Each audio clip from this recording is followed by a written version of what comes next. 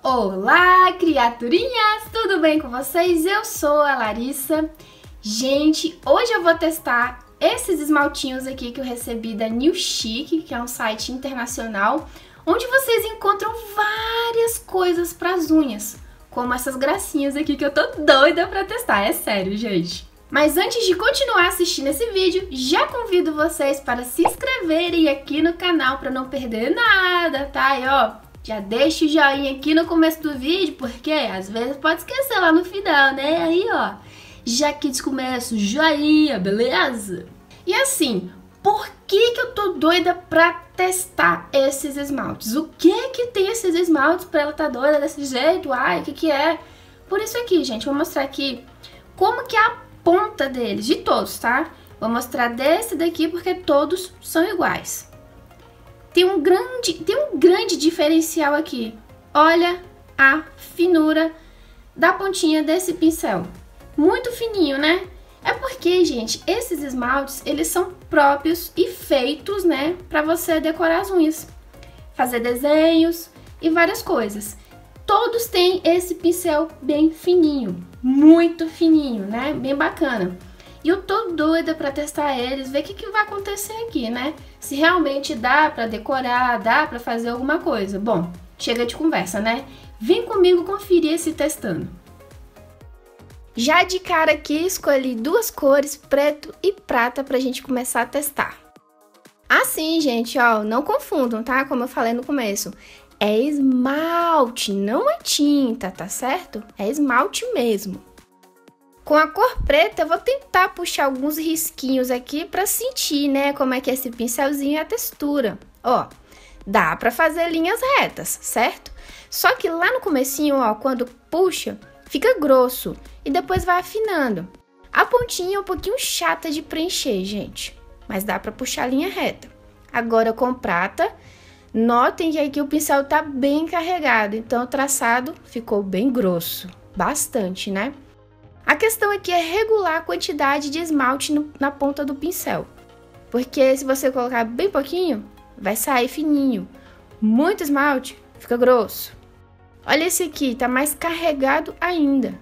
O traçado fica bem mais cheio. Eu só tô sentindo um pouco de dificuldade aqui nele, é nessa pontinha mesmo, né? Na hora de puxar, ela não vem certinha branquinho e glitter prata para tentar fazer uma francesinha aqui, gente. Ai, que tudo! Com branco, vou fechar aqui a pontinha da unha, mas antes vou puxar um risquinho para poder marcar a francesinha. Ixi, nossa, esse aqui é muito grosso. Estão vendo, gente? Tá dando liga. Esse branco aqui tá muito grosso.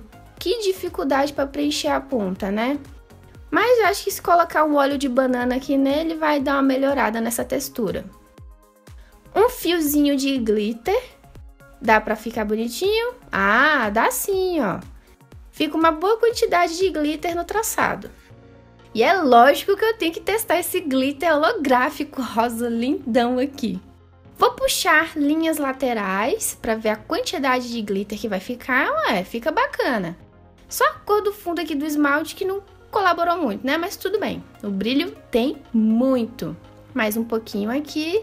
Esta aqui também é bastante grosso, gente.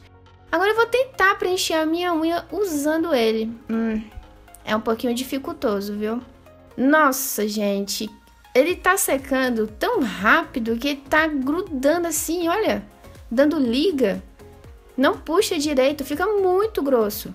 É, esmaltar as unhas com esse tipo de pincel não é uma boa. É melhor deixar para decorar mesmo. Tá muito grosso, gente. Mas é legal que é pra testar aqui, né? Pra gente saber se realmente dá pra fazer isso ou não. Bom, pessoas, testei os esmaltinhos feitos para decorações, né? E agora o que, que eu achei deles? Secam muito rápido, então se for para fazer um desenho assim mais trabalhado, não vai ficar muito legal. Outra coisa que eu reparei nesses esmaltes é que eles têm um cheiro bastante forte. É muito diferente dos nossos esmaltes aqui nacionais, né? O cheiro é muito, muito forte. Voltaria a usar esses esmaltinhos para arte? Voltaria, mas como eu disse, né, especificamente para desenhar alguma coisa rápida, porque não dá para fazer um desenho trabalhado com eles. A secagem é muito rápida, eu fiquei besta. Posso vir fazendo algum vídeo para vocês depois, decorando com eles, né, fazendo alguma coisinha bacana. Então, gostei, achei uma coisa diferente, nunca tinha testado um produto assim. E vocês contem pra mim o que, que acharam disso tudo, né? Desses esmaltinhos com pincel bem fininho para decorar. Alguém já conhece, já usou também? Fala pra mim o que é que você achou, né? Pra gente trocar uma ideia. Pessoas do meu coraçãozinho, para vocês não perderem nenhum vídeo aqui do Unhas da Lala, clica no sininho de notificações, tá? Para ele sempre estar tá avisando vocês que sai vídeo novo aqui todos os dias.